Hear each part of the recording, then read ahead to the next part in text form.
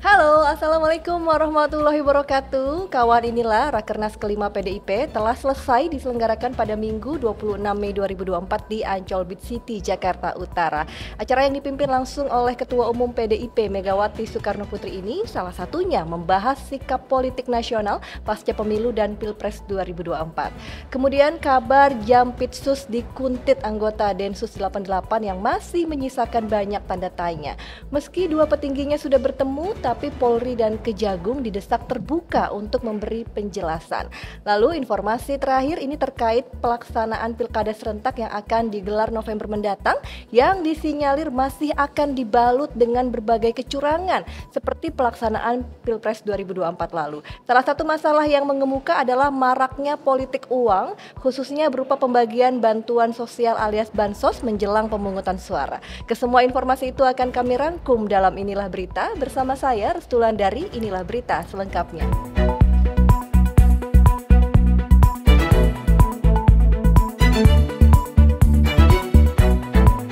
Kita langsung saja ke berita pertama. Rapat Kerja Nasional atau Rakernas kelima PDIP menjadi topik politik yang paling hangat akhir pekan kemarin. Pada pembukaan Rakernas Jumat 24 Mei 2024, Ketua DPP PDIP Ahmad Basarah mengatakan Rakernas akan menetapkan sikap politik partai.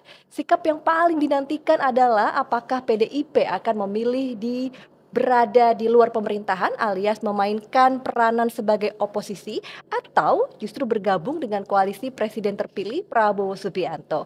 PDIP telah berulang kali mengkritik keras proses pemilu 2024 dan hasilnya yang dianggap penuh kecurangan. Namun belum ada ketegasan sikap partai untuk menjadi oposisi.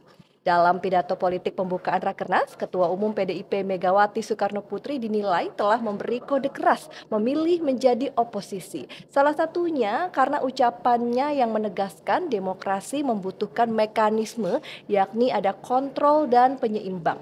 Bu Mega demikian sapaan akrabnya menyoroti adanya anomali dalam penerapan sistem demokrasi di tanah air. Anomali seperti itu Bu Mega menyitir para pakar telah melahirkan kepemimpinan paradoks berwatak otoriter populis. Dengan kritik-kritik kerasnya, Presiden RI kelima itu lantas memproklamirkan dirinya sebagai provokator demi kebenaran dan keadilan cetusnya.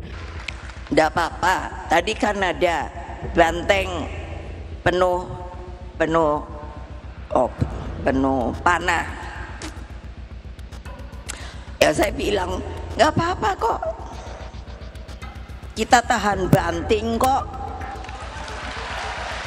Berani apa tidak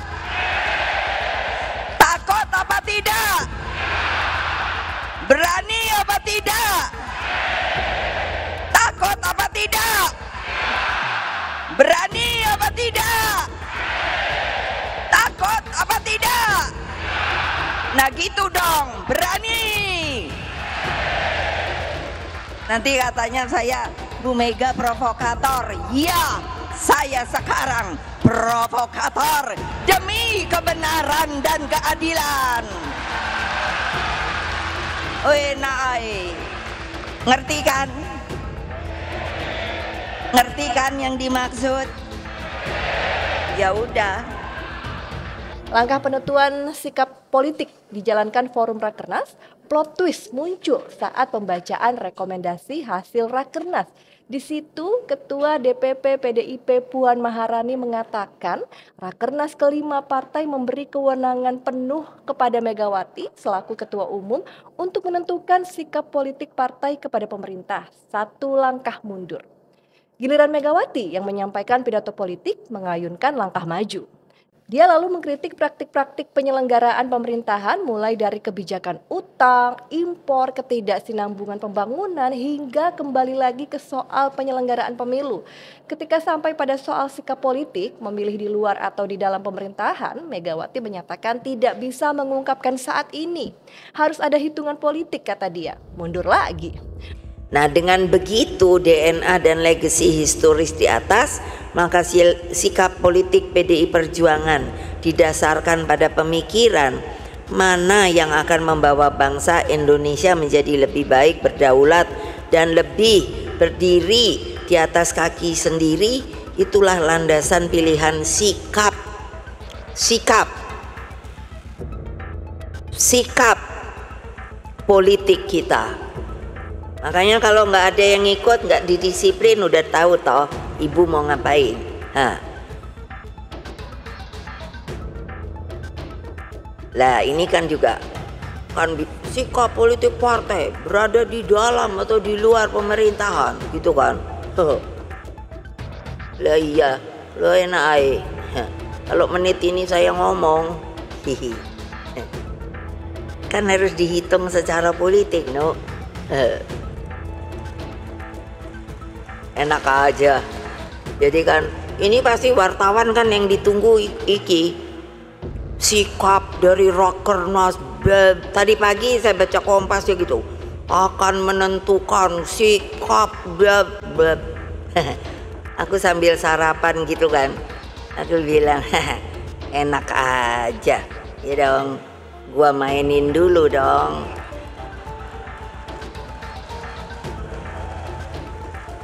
setuju gak sip PDIP seperti sedang melakukan tari poco-poco. Bu Mega juga memakai analogi tarian dengan gerak langkah maju mundur asal Indonesia Timur itu dalam pidatonya. Ia menyebut sebagai dampak ketidaksinambungan pembangunan nasional seiring pergantian kepemimpinan. Kiranya analogi serupa tepat pula menggambarkan kebimbangan sikap politik PDIP. Peran oposisi secara ketatanegaraan di Indonesia memang tidak dikenal. Alhasil, sebetulnya tidak ada kewajiban bagi partai politik untuk memilih antara menjadi oposisi atau bergabung ke koalisi pemerintahan. Namun, ada semacam norma tidak tertulis bahwa hanya partai yang bergabung ke koalisi pemerintahan yang mendapat bagian kursi di kabinet. Mereka juga harus senantiasa mendukung kebijakan pemerintah. Setidaknya, kalau menegur tidak keras-keras lah. Peran partai pendukung penting agar penyelenggaraan pemerintahan tidak mandek. Di sisi lain, jika semua partai ikut gerbong pemerintahan, fungsi kontrol dan penyeimbang bakal tumpul. Demokrasi melemah, di sini perlunya peran oposisi yang mampu memberikan koreksi kritis. Sebagai peraih kursi terbanyak di parlemen, PDIP sangat tepat menjadi penyeimbang. Suara oposisi akan lebih lantang, bukan hanya sayup-sayup. Maka kita harus mendorong PDIP mendegaskan sikap Syukur-syukur memilih berada di luar pemerintahan agar kehidupan demokrasi menjadi sehat lewat tumbuhnya fungsi yang kuat. Dan ya ditunggu deh PDIP untuk sikap politiknya jangan maju mundur maju mundur terus mau sampai kapan menari poco-poconya. Kalau kawan inilah lebih setuju mana nih PDIP sebagai oposisi atau satu sisi dengan pemerintahan Prabowo Gibran? Tulis di kolom komentar ya. Beralih ke informasi kedua, kawan inilah Kapolri Jenderal Listio Sigit Prabowo dan Jaksa Agung Sanitiar Burhanuddin memperlihatkan keagraban di tengah beredarnya kabar panas Jaksa Agung Muda bidang tindak pidana khusus atau Jampitsus Febri Ardiansah dikuntit yang dikuntit oleh sejumlah anggota Densus 88 anti teror Polri. Kedua pucuk pimpinan institusi penegak hukum itu melakukan aksi jabat tangan dan juga berangkulan saat menghadiri peluncuran GovTech di Istana Negara pada Senin 27 Mei lalu. Sesuai acara, Listio Sigit dan Burhanuddin terlihat menaiki mobil golf yang sama. Mereka juga kompak menepis kabar terjadi perseteruan yang melibatkan kedua institusi. Namun, kecemasan publik malah semakin menjadi-jadi karena peristiwa yang begitu menyita perhatian tidak dijawab secara terang benderang. Perihal pertama adalah untuk apa sejumlah anggota Densus 88 Polri menguntit Jampitsus Febri Adriansah di sebuah restoran di bilangan Cipete, Jakarta Selatan pada 19 Mei lalu. Penguntitan itu jelas menyimpang dari tugas utama Densus 88 yakni menangani masalah terorisme. Pertama terkait dengan isu penguntitan tadi memang diserahkan kepada Kapus Penkum untuk menyampaikan ya bahwa memang benar ada isu bukan isu lagi fakta penguntitan di lapangan. Ya, setelah dilakukan pemeriksaan terhadap yang menguntit, ya, ternyata di dalam HP yang bersangkutan itu diketemukan profiling daripada Pak Jambitsus. Kemudian dilakukan suatu pemeriksaan lebih lanjut, ya dibawa ke kantor Kejaksaan Agung. Ternyata yang bersangkutan adalah anggota Polri. Sehingga pada saat itu juga kita serahkan kepada Pamindal Polri. Jadi sudah nggak ada lagi di sini, ya. Pada saat itu juga, malam itu juga, karena yang bersangkutan adalah anggota Polri, kita serahkan kepada Polri untuk ditangani lebih lanjut. Bahwa memang benar ini dari teman-teman di khusus sehingga kita serahkan kepada Pamila Mabes Polri karena mereka di bawah Mabes Polri. Satu. Yang kedua, di kejaksaan ini penyidik sudah terbiasa menghadapi suatu ancaman dan tekanan. Ya. Dan kita tidak lemah dengan ancaman dan tekanan. Tetap penegakan hukum terus berjalan menjadi panglima di negeri ini. Pesannya Pak Jamisus, kita tetap jalan on the track. Seperti itu. Para pimpinan Kapolri, Pak Kapolri, dan Pak Jaksa sudah ketemu. Ya, tentunya kita di sini harus dengan kepala dingin menyelesaikan perkara ini agar lembaga dan negara yang besar ini tidak terganggu dengan hal-hal yang seperti ini ke depannya. Lalu, apakah anggota Densus 88 yang diduga Bribda IM sudah dikenakan sanksi? Pertanyaan selanjutnya adalah siapa yang memerintahkan? Ini penting untuk dijawab mengingat Densus 88 memiliki standar operasional prosedur atau SOP yang ketat dalam penugasan. Publik juga bertanya-tanya terkait viralnya video yang memperlihatkan tujuh sepeda motor dan dua mobil rantis berlogo Brimob lalu lalang menyalakan sirene di depan gedung Kejaksaan Agung yang berlokasi di Kebayoran Baru, Jakarta Selatan. Video itu beredar pada 20 Mei atau sehari setelah penguntitan Jampitsus. Berbagai pertanyaan itu hanya dijawab singkat oleh Kapolri dan Jaksa Agung yakni tidak ada masalah sama sekali. Namun, jawaban keduanya justru semakin menimbulkan spekulasi liar seolah-olah Densus 88 boleh menguntit jaksa yang saat ini sedang mengusut berbagai kasus kelas kakap. Berbagai spekulasi tersebut tentu harus dihentikan agar tidak menyulut kegaduhan. Apalagi Polri dan Kejaksaan Agung merupakan dua pilar utama dalam sistem hukum yang bekerja untuk melindungi hak-hak dan melayani kepentingan warga negara. Caranya sederhana, cukup dengan bersikap transparan. Jawab semua pertanyaan publik secara jujur dan terang benderang. Jangan ada yang ditutup-tutupi. Kebohongan demi kebohongan hanya akan meruntuhkan kepercayaan masyarakat terhadap hukum di negeri tercinta ini. Kita juga harus terus ingatkan kepada kedua institusi penegak hukum itu untuk bersatu dan jangan mau diadu domba. Sungguh sebuah ironi ketika dua lembaga yang seharusnya menjunjung tinggi hukum malah bertikai dan mengangkangi hukum. Hmm, ini cukup menarik ya kawan inilah penegak hukum tapi saling curiga. Ini gimana masyarakat bisa percaya nih terhadap hukum di Indonesia nih kalau kayak gini caranya. Ayo Polri dan Kejagung transparan lah. Kita langsung ke berita ketiga, kawan inilah pemilu 2024 disebut oleh banyak pihak sebagai yang terburuk sepanjang sejarah Indonesia. Mulai dari mantan wakil presiden Yusuf Kala, sejumlah pengamat hingga ketua umum PDIP Megawati Soekarno Putri mengkritisi jalannya pesta demokrasi lima tahunan itu. Salah satu masalah yang mengemuka adalah maraknya politik uang, khususnya berupa pembagian bantuan sosial alias bansos menjelang pemungutan suara. Masalah bagi-bagi bansos itu juga yang menjadi materi gugatan dalam perselisihan hasil pemilihan umum atau PHPU pemilu presiden dan wakil presiden di Mahkamah Konstitusi atau MK. Akan tetapi, MK mematahkan anggapan pembagian bansos terkait dengan sengketa hasil suara di pemilu. Walhasil, Hakim Konstitusi menolak seluruh permohonan PHPU Pilpres. MK dipandang mematahkan beragam tuduhan kecurangan, intervensi aparat dan politisasi bansos. Di sisi lain ada juga yang sudah menduga juga beragam tudingan itu memang tidak akan terbukti di depan hukum sebab kecurangan tersebut sudah dirancang untuk aman secara delik meski tuna etika. Sehebat-hebatnya aturan, pastinya lebih hebat manusia yang menciptakan. Sehingga ada anggapan aturan diciptakan untuk dilanggar. Ragam pantangan dan larangan tidak membuat sebagian manusia untuk menjauhinya. Regulasi yang ada hanya membuat para pelanggarnya untuk berkreasi. Di tangan politisi bermental pemburu rente, aturan seketat apa pun tetap bisa dicari celah untuk dilalui lalu dilanggar. Mereka juga tidak akan ragu untuk bersengkokol dengan aparat penegak dan pelaksana aturan, sepanjang ada kata sepakat dengan penjaga aturan. Maka pelanggaran akan mulus bahkan terlegitimasi. Apabila pelanggaran berlangsung tanpa permufakatan dengan aparat penegaknya, dapat dipastikan penegakan hukum bisa berlangsung secara tegas dan cepat. Kita memang harus sudah menutup lembaran Pilpres seiring putusan final dan mengikat dari MK.